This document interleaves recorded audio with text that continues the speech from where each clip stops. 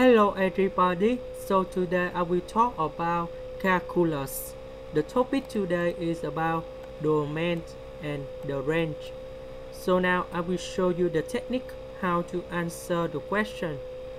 We know that this is about the square root.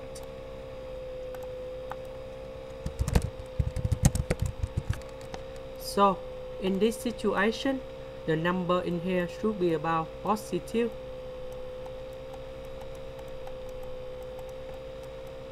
So you got about 4 minus z square is greater than or equal to number 0. So you got about negative z square is greater than or equal to negative number 4. Later that we divide both sides with negative. So you got about z square is smaller than or equal to number 4. And we we put the square root in the both sides and you will go about negative number 2 is smaller than or equal to z. And z is smaller than or equal to number 2 and this is about the domain. And that should be about from negative number 2 to number 2 next we want to find the range in here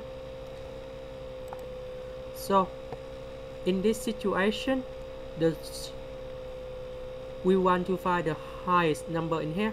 So we have 4 minus z square. So we do first the derivative of this one.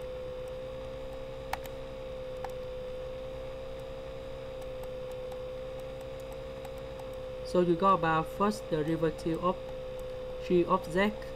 You got about negative 2z and later that we put this one equal to number 0 so z equal to number 0 later that we got about g of number 0 is about number 4 because we that's because we have the square root so you got about the square root of number 4 equal to number 2 and we know that if z equal to negative number 2 or number 2 this one will go to number 0 so the range in this situation that should be about from negative uh, from 0 to number 2